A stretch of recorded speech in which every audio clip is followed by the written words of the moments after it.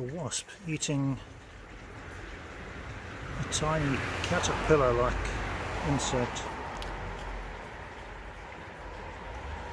Oh.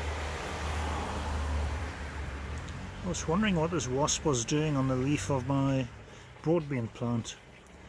It's eating like a tiny caterpillar thing. So that's good. They um, kill the insects that eat my plants. So I thought I'll just do a short video, um, bit of a nature video if you like.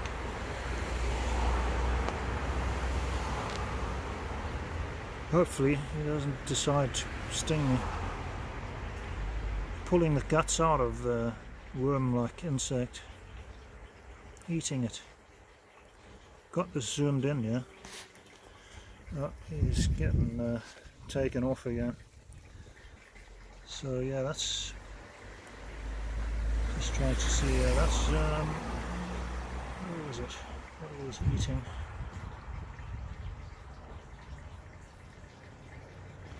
Not much left of it.